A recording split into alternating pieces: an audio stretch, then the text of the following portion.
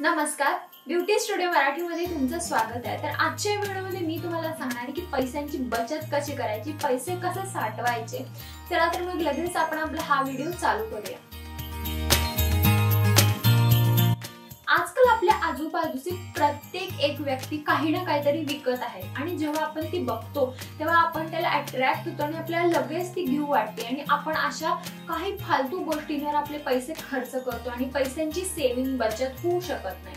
तर अशा या गोष्टींपासून आपण कसं वाचायचं? त्याच्यासाठी मी आज तुम्हाला काही टिप्स सांगणार आहे. तुम्ही जर जॉबला जात असाल किंवा घरी राहत असाल तुम्ही जर वर्किंग वुमन असाल नसाल किंवा जर तुम्ही शाळेत जात असाल या टिप्स सगळ्यांसाठी आहेत. असं नाही की फक्त तुम्ही जॉब करत असाल तर फक्त तुमच्यासाठी या टिप्स आहेत. असं काही नाही. आहे सगळ्यांसाठी ह्या टिप्स आहेत की तुम्ही पैसे कसे वाचवू शकता? चला तर मग एक एक करून या टिप्स बघूया. नंबर वन टिप आहे की तुमचं रेकॉर्ड ठेवा. तुमचं डेली किती स्पेंड होतं त्याचं रेकॉर्ड ठेवणं खूप गरजेचं असतं. जरी तुम्ही दिवसाला दहा रुपये स्पेंड करा नाहीतर एक हजार रुपये स्पेंड करा पण त्याचं रेकॉर्ड गरजेचं असतं. कारण महिन्याभरात आपण रोज किती पैसे खर्च करतो त्याचा आपल्याला अंदाज येतो आणि आपल्याला समजतं की आपले पैसे नक्की जातात कुठे. मग तुम्ही दहा रुपयाचा चिप्स घ्या शंभर रुपये पेट्रोल टाका काही करा पण ते नोट डाऊन करणे खूप गरजेचं असतं. त्यामुळे लक्षात ठेवा रोजच्या रोज एक डायरी घाला.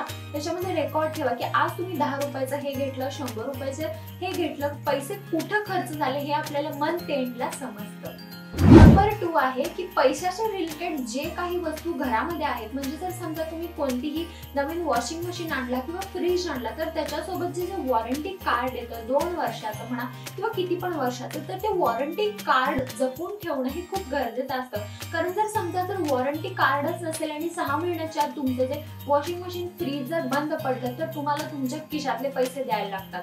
त्यामुळे असं गोष्टी काही करू नका. जे पण वॉरंटी कार्ड वगैरे असेल काही मनी रिलेटेड जे काही असतं ते खूप जपून ठेवा ऑर्गनाईज ठेवा की हा ह्या ह्या सेल्फमध्ये मी माझे कार्ड्स ठेवलेत वॉरंटी कार्ड ठेवले म्हणजे जरी समजा तुमचं काही मशीनला प्रॉब्लेम आला तर तुम्हाला स्वतःच्या खिशामधले पैसे नाही घालायला लागणार. तो प्रोडक्टचा डिफॉल्ट आहे कंपनीचा फॉल्ट आहे तर ते कंपनीच्या ह्याच्यातूनच ते होऊन जाईल. त्यामुळे ही गोष्ट नक्की लक्षात ठेवा. नंबर थ्री आहे ते म्हणजे हॉटेलिंग तर आपण सगळेच जण हॉटेलचं खातो पण जर आपण रोज रोज याचं हॉटेलिंग बाहेरचं वगैरे खायला लागलो तर आपले सगळे जे इकडून येणारे पैसे आहेत ते सगळे त्यांना जातात.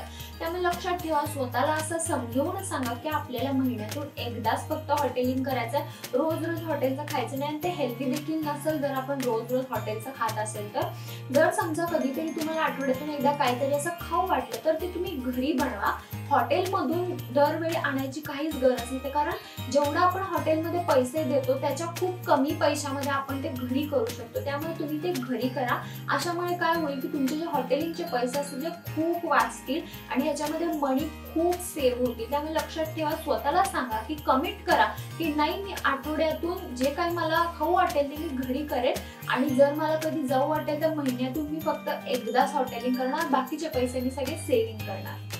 नंबर फोर आहे पार्लर ट्रीटमेंट तर हा सगळ्यात मोठा खर्च आहे. जो आपल्याला एकदम टाळायचा आहे तर मी असं म्हणत नाही की पार्लरमध्ये जायचं बंद करून टाका.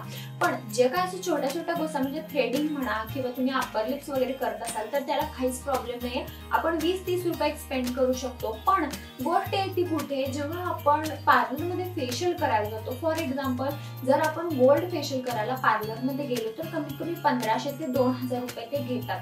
पण तेच जर तुम्ही गोल्ड फेशियलचं किट घरी आणलं तर तुम्ही दोन ते तीन वेळा त्या फेशियल किटमध्ये फेशियल करू शकता. तेही कमी पैशामध्ये. म्हणजे जर समजा पाचशे रुपयात तुम्ही तीन वेळा फेशियल करू शकता आणि तेच तुम्ही पार्लरमध्ये दोन हजार रुपयात फक्त एकदाच फेशियल करू शकता. त्यामुळे याचा फरक बघा की हा फरक किती आणि आजकाल ऑनलाईन सगळं काही भेटतं.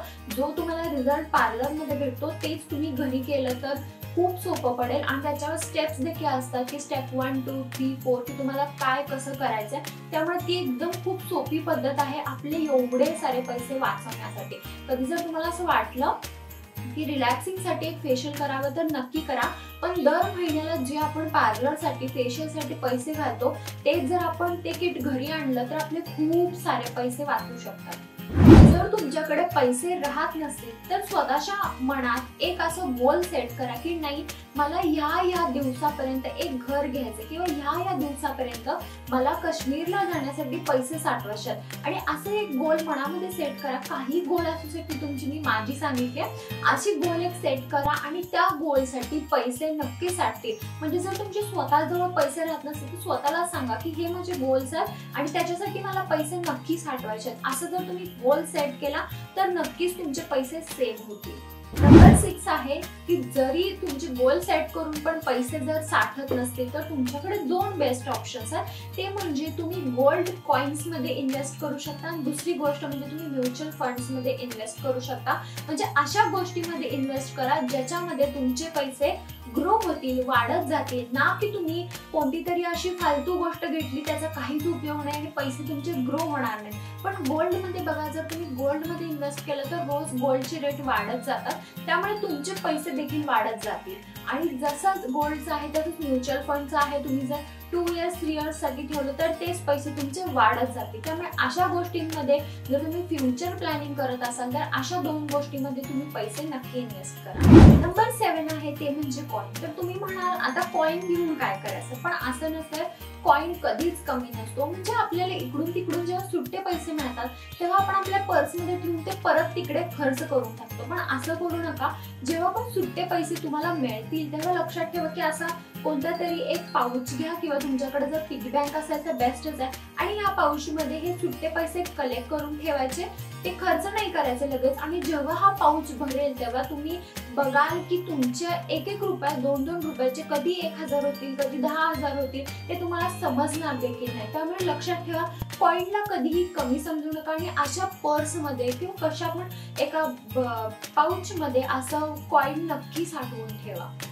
लास्ट जी आहे नंबर एट ती एकदम महत्वाची टिप आहे. आणि ती माझ्या एक्सपिरियन्सवरून मी तुम्हाला सांगते.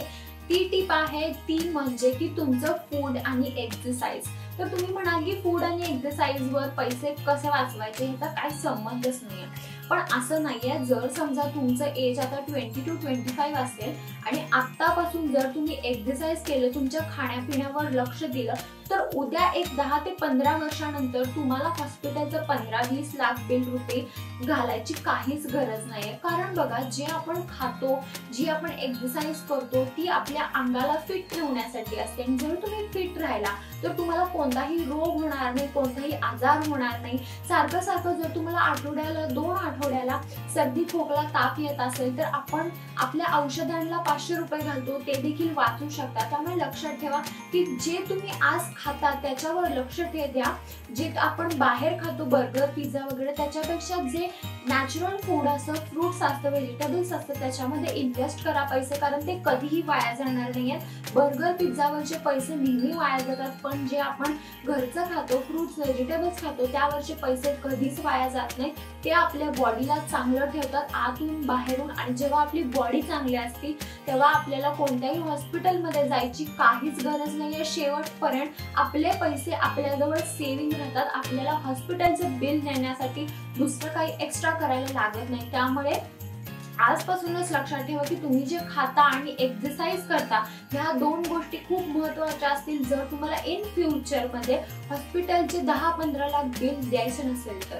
तर ह्या होत्या काही छोट्या छोट्या टिप्स ज्या आपल्याला नेहमी फॉलो करायच्या जर तुमचे तुम्हाला पैसे वाचवायचे असतील पैसे सेव्हिंग करायचे असतील तर जर व्हिडिओ आवडले असेल तर व्हिडिओला लाईक शेअर सबस्क्राईब करायला विसरू नका. आणि तुम्ही तुमचे पैसे वाचवण्यासाठी काय काय करता मला कमेंट बॉक्समध्ये नक्की सांगा. चला तर मग लवकरच व्हिडिओ एका नवीन व्हिडिओमध्ये तोपर्यंत काळजी घ्या. बाय